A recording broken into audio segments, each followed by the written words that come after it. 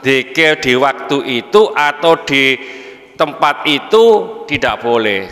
Di WC itu tidak boleh dikir.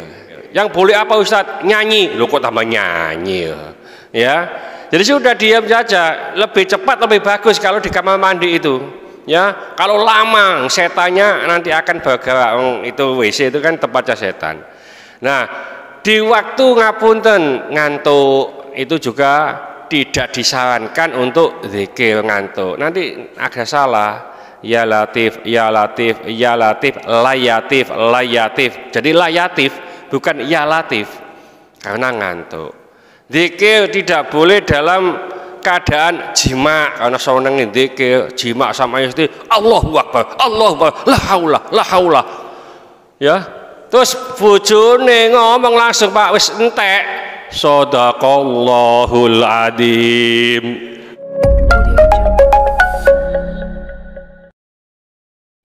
Assalamualaikum warahmatullahi wabarakatuh. Bismillahirrahmanirrahim.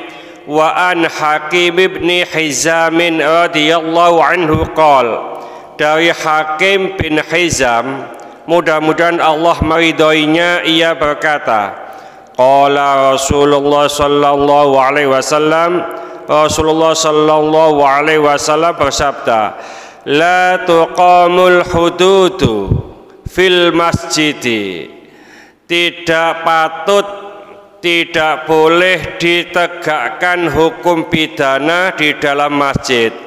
Wala yustaqadu fiha dan juga tidak patut atau ditegakkan tuntut bela di dalam masjid wa Ahmad wa Abu Dawud ini fungsi masjid di zaman Rasulullah Minggu yang lalu sudah kita sampaikan di antaranya fungsi masjid itu untuk tempat tawanan waktu itu. Jadi ada tawanan diikat di tiang-tiang masjid. Artinya orang non muslim boleh masuk masjid. Kalau di sini itu dijelaskan bahwa masjid itu tidak boleh untuk persidangan yaitu masalah hukum pidana hukum pidana saja nggak boleh apalagi hukum perdata yang berkaitan dengan dunia atau harta benda. Ya kalau kita lihat di Jeddah itu ada masjid Al-Kisos Pak ya. Pak Yusuf pernah sana? Ya. Masjid Al-Kisos itu masjid yang biasa untuk mengumumkan umpamanya ada atau dakwah bukan atau dakwah atau pidana ya itu mau dihukum mati itu diumumkan Pak. Bahwa besok hari Jumat di sini ada hukuman mati di penggal itu Pak. Diumumkan. Dan itu untuk umum. Jadi orang yang anu bisa melihat begini ya. Kalau umpamanya ngapunten Pak Yusuf ke sana pasti bawa bawa kamera. Ya. Jadi disuting begitu. Dan itu diperbolehkan. Ya. Jadi memang diumumkan. Jadi orang ini mau dihukum mati. Dan seterusnya. Ya. Nah zaman Rasulullah itu masjid tidak boleh dipakai untuk persidangan masalah hukum pidana. Karena apa? Persidangan yang dilakukan biasanya itu ada debat, perdebatan, membetulkan, menyalahkan dan seterusnya. Ya, jadi kalau hanya untuk yang lainnya, maaf, maaf, masjid itu secara umum fungsi utamanya adalah untuk ibadah Nah, para ulama itu menggarisbawahi ibadah itu dibagi menjadi dua. Ibadah mahdoh dan ibadah ghair mahdoh. Ibadah mahdoh itu apa sih? Ibadah yang kaifiyah, tata caranya waktunya tempatnya itu sudah ditentukan contoh haji ya jadi tata cara haji ya semacam itu waktunya yaitu tempatnya yaitu ya tidak boleh. Kita haji terus langsung ayo haji nang di nang Jember. Kono umpamane karena ikut Pak Yusuf di Jember sana. Ya ini tidak boleh. Jadi haji ada tempat. Lalu ibadah ghair mahdoh. Kebalikannya ibadah yang tata cara waktunya lalu tempatnya tidak ditentukan. Ya secara pasti. Contoh zikir contoh itu apa? Doa. Itu waktunya tentu apa acaranya tidak ditentukan. Cuma memang zikir itu ada tempat-tempat ada waktu-waktu yang terlarang. Ya kadangkala kita salah faham atau tidak faham zikir di waktu itu atau di tempat itu tidak boleh di WC itu tidak boleh zikir ya.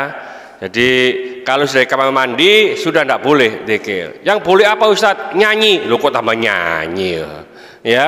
Jadi sudah diam saja. Lebih cepat lebih bagus kalau di kamar mandi itu ya. Kalau lama setannya nanti akan bergerak. Itu WC itu kan tempatnya setan. Nah di waktu ngapunten ngantuk itu juga tidak disarankan untuk zikir ngantuk. Nanti ada salah ya latif ya latif ya latif layatif layatif. Jadi layatif bukan ya latif karena ngantuk. Zikir tidak boleh dalam keadaan jima ya sing dibojo ngapunten. Ya karena seneng zikir jima sama istri Allahu Akbar Allahu Akbar la haula la haula ya terus bojone ngomong langsung Pak wis entek. Sadaqallahul adim. Oh ya wes iki. Ya selesai. Jadi waktu jima itu tidak disarankan untuk zikir. Nah itu kan ada doanya Ustadz sebelum. Sebelum jima ya. Jadi uh, ibadah ada doa nah masjid itu zaman Rasulullah tidak hanya untuk sholat. Ya nanti di belakang ini ada ada beberapa. Cuma ada larangan masjid itu tidak dipakai untuk menegakkan apa? Hukum-hukum pidana termasuk bela tuntut ya umpamanya ya menuntut sesuatu karena saya adik saya dibunuh saya tuntut di situ umpamanya. Ini tidak di diperkenankan ya. Nah kalau di sini ya tidak mungkin lah. Waktu itu mungkin apa eh, tempat untuk pengadilan itu belum ditentukan. Mudah-mudahan sedikit ini dibarengi hidayah Allah Subhanahu wa taala. Mudah-mudahan segala hajat kita dikabulkan Allah, segala kesulitan kita dibantu oleh Allah. Mudah-mudahan anak-anak kita menjadi anak soleh solehah taat kepada Allah, patuh dan nurut kepada kedua orang tua. Ya Allah kasih keturunan, mudah-mudahan Allah berikan keturunan yang soleh solehah. Ya Allah kasih jodoh, mudah-mudahan Allah berikan jodoh yang soleh solehah. Mudah-mudahan di antara kita keluarga kita, handetolan kita, tetangga-tetangga kita yang saat ini sedang sakit, baik di rumah sakit maupun di kediaman. Mudah-mudahan Allah cepat mengangkat penyakitnya, menyembuhkan penyakitnya, dan mudah-mudahan Allah memberikan kesabaran kepada yang sakit. Dan dengan kesabaran ini mudah-mudahan Allah mengangkat seluruh dosa-dosanya. Dan mudah-mudahan Allah mengampuni dosa-dosanya orang yang mendolimi kita. Al-Fatihah Bismillahirrahmanirrahim. Wal asri innal insana fi khusrin illa illa alladziina amanu wa 'amilus solihati wa tawassaw bil haqqi wa tawassaw bis sabr.